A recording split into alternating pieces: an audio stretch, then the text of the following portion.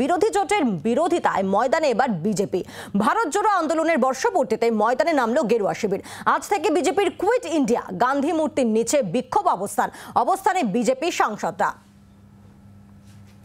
একদিকে আমরা জানি যে বিজেপি বিরোধিতায় ইন্ডিয়া জোট এবং তারই পাল্টা কি এই কৌশল যেখানে কুইট ইন্ডিয়া আমরা কথা বলব। মৌমিতা রয়েছেন আমাদের সঙ্গে। মৌমিতা কুয়েট ইন্ডিয়ার প্রসঙ্গ প্রথম উত্থাপন করেন প্রধানমন্ত্রী নরেন্দ্র মোদী রেলের অনুষ্ঠানে এবং তারপরে আজকের এই কর্মসূচি। অর্থাৎ বিজেপি বিরোধিতায় ইন্ডিয়া জোটের পাল্টাই কর্মসূচি।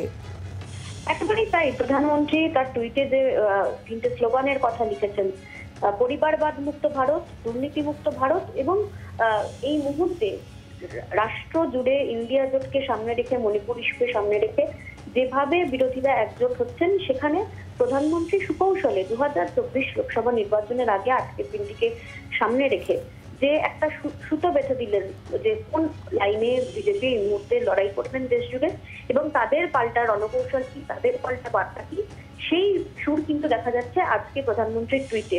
দেশ জুড়ে অমৃত রেল স্টেশনের উদ্বোধনের দিন প্রধানমন্ত্রী এই বক্তব্য রেখেছিলেন যে সারা দেশ জুড়ে আজকের দিনে কুইট ইন্ডিয়া মুভমেন্টকে সেলিব্রেট করা হবে এবং সেটা সেই লক্ষ্যে গেরুয়া শিবির তাদের যে কর্মসূচি সেই কর্মসূচি পালন করবেন।